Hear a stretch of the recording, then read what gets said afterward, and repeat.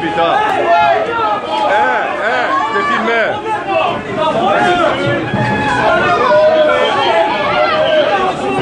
La violence.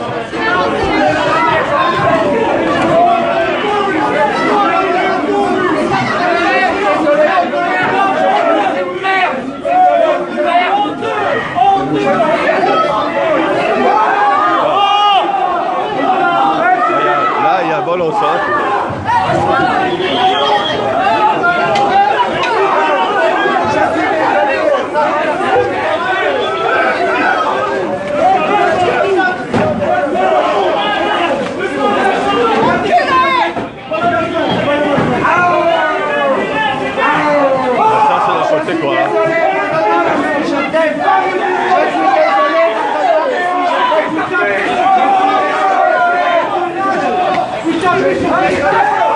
Regardez, la violence gratuite de police.